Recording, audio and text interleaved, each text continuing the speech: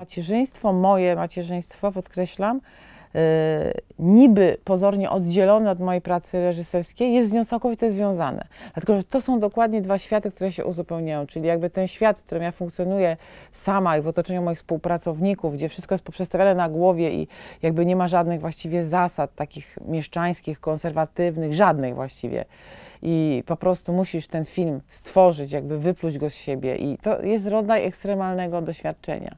A z drugiej strony dom z swoją rutyną godzinową, którą wyznaczają dzieci.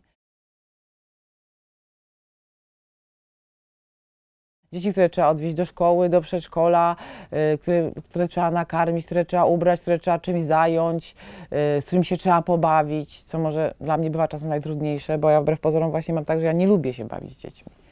A znam wielu znajomych, którzy lubią. Nie? Ja mogę z dzieckiem porozmawiać, poczytać mu książkę, ale właśnie zabawa jest zawsze dla mnie, dla mnie trudna. No i te światy się cudownie uzupełniają. Cudownie się uzupełniają. Można powiedzieć, że ja będąc z dziećmi odpoczywam, ale będąc z nimi mm, raczej nie, nie umiem uruchomić w sobie y, tych y, funkcji tak na 100% myślenia. Na przykład nie jestem w stanie wymyślać scenariusza. No nie, nie jest to możliwe. I, I teraz dla mnie takim idealnym połączeniem jest właśnie to, żeby to sobie przeciwstawiać trochę. Czyli, że na przykład spędzam mm, te, te 3-4 godziny w samotności pisząc, albo nawet spotykając się z kimś, dyskutując o tym, co chcę wymyślić, i kolejne pół dnia spędzam z dziećmi. I to jest taki dla mnie model idealny. Ale też uważam, że y, jestem o tym głęboko przekonana, że E, lepiej funkcjonuje, mi się lepiej funkcjonuje z dziećmi, jeżeli mam jak gdyby też przerwę od tej rutyny e, domowej. Inaczej człowiek funkcjonuje, jak kręci film, czy na przykład właśnie jedzie na jakiś taki wielki festiwal, no tak, śpisz w ciągu dnia, w nocy funkcjonujesz, no wszystko jakby się przestawia. I potem nagle to, że wracasz do domu i do tych dzieci i musisz wstać rano i dać im śniadanie, i z nimi jechać i potem im ugotować kolację, bo mamy taką tradycję, że zawsze jemy coś razem wieczorem, w ogóle te wspólne posiłki, to nagle staje się jakieś fantastyczne i w ogóle ci jak gdyby nie przeszkadza. Więc ja myślę, że to też jest taka fajna rzecz w moim zawodzie, że ja mam te momenty, gdy ja w ogóle wypadam z tej rutyny, tak? I, i, i potem i tęsknię za nią po prostu. W ogóle nie widzę się w roli mm, reżyserki y, z chustą z dzieckiem biegającej po planie, bo y, to nie jest miejsce dla dziecka.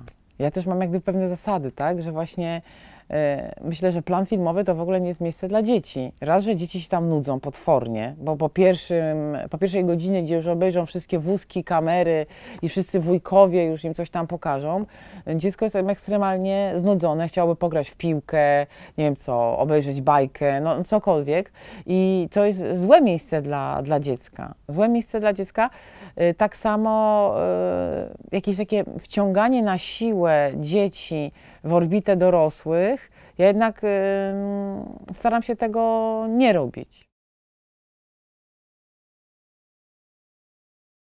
Robiłam krótki film do takiego cyklu Solidarność, Solidarność. Tam było ileś filmów i ja robiłam jeden z tych krótkich filmów i pamiętam, że byłam właściwie no, trzy tygodnie po porodzie, gdy musiałam nakręcić ten film.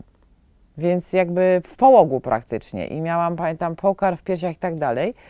I pamiętam, że był taki kierownik e, produkcji, ja miałam wtedy 32 lata, był taki kierownik produkcji, który rzeczywiście pozycjonował się, bo mi ciągle y, tata Maćka dowoził Maćka na karmienie i tak dalej. I on był y, rzeczywiście taki jakby hamski, że tu jakaś baba, prawda, z połogu, no coś takiego się wyczuwało. Zaczął się tak po tym planie panoszyć dość intensywnie, no ale ja to no, bardzo drastycznie ucięłam właściwie wyrzucając go, więc y, myślę, że mu poszło w pięty i się uspokoił. Ale rzeczywiście był, było, było coś takiego i trzeba było na to zareagować, nie? Jakoś tam y, bardzo silnie. Y, no ale to w ogóle jest tak, że jak się robi na początku te filmy, to trzeba walczyć, walczyć, bo ludzie próbują podważyć twój autorytet. A potem, jak już trafiłam właściwie od filmu 33 sceny na swoją ekipę, z którą do dziś robię filmy, to są cały czas ci sami mężczyźni, zarówno od wózka i tak dalej, to raczej to jest wielka przyjaźń i raczej to, że jestem mamą, to wzbudza raczej szacunek.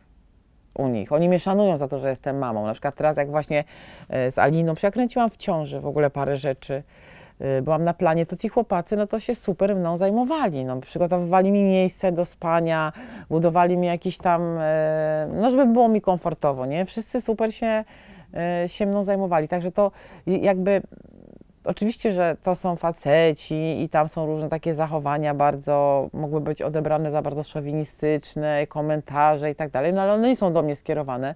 My tworzymy jak gdyby grupę. Y, ja im mogę podwracać uwagę, żeby się tak nie zachowywali wobec kobiet. Oni się i tak tak będą zachowywać, więc ja nic nie zmienię.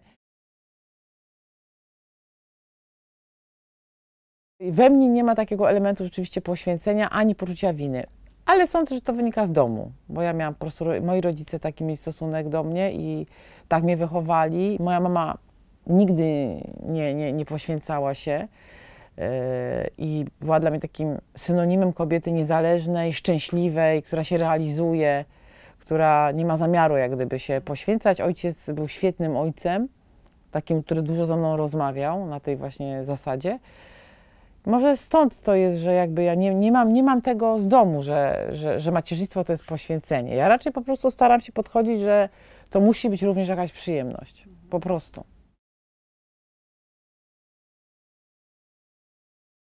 Moje macierzyństwo jest takie, że dzieci jak gdyby dostosowują się do mnie, a nie ja do dzieci. To było często tak dyskretnie ktoś próbował, i to szczególnie kobiety, żeby było zabawnie. Szczególnie kobiety, dlatego że zauważyłam, że na mężczyznom często to się podobało, że myśleli sobie, o fajnie jakby moja żona też taka była, bo by mnie tak nie zamęczała tymi wszystkimi, prawda? Takie miałam poczucie, więc mi się wydaje, że to jest, yy, ja jakby, by to powiedzieć, nie zwracałam na to uwagi. Znaczy uważam, że to jest jakby jakiś element taki społeczno-socjologiczny, który występuje, yy, bo to jest coś, co przełamuje pewne tabu, tak? Że jak gdyby jest przyjęte, że robi się tak, nie? A ja nagle robię coś na odwrót i to jest normalne, że to musi wzbudzić jakiś rodzaj y, oceny czy, czy, czy niechęci, prawda?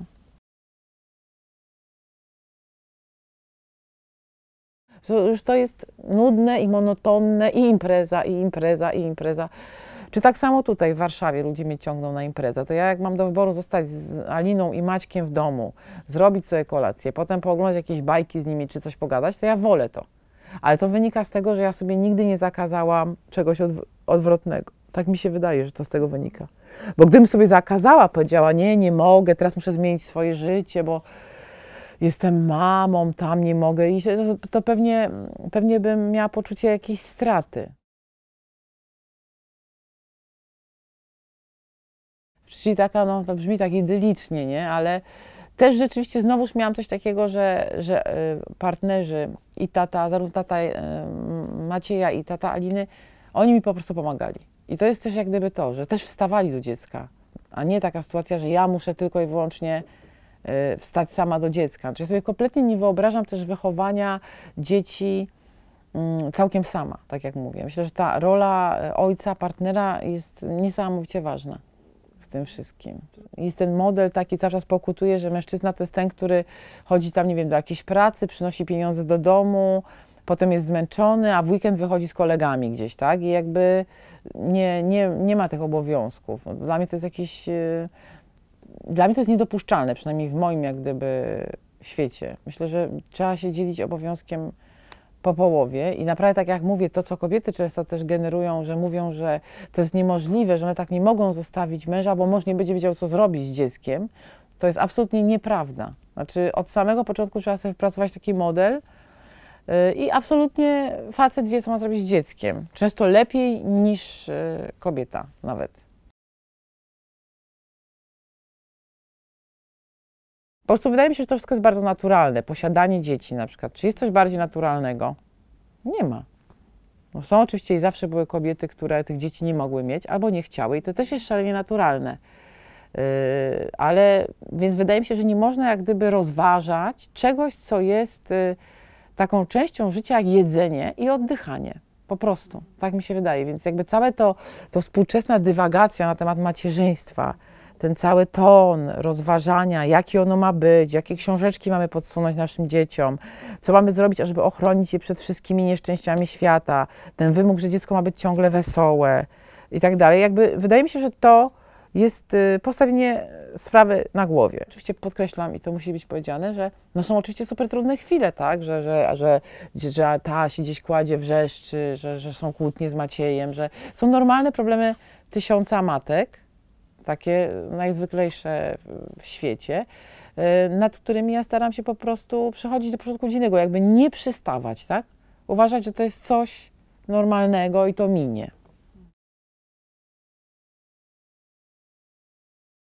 To jest takie organiczne strasznie, że te dzieci jakby są twoją częścią, one są częścią twojej fizyczności, twojej biologii, twojej seksualności. Ja na przykład jakby uważam, że seksualność kobiety jest szalenie związana z macierzyństwem.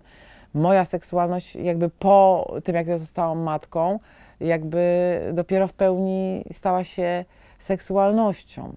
Także dla mnie to, ja to wszystko postrzegam jako taki proces artystyczny, że te dzieci, że one są częścią ciebie, i że one są szalenie ważne w tym procesie też y, tworzenia.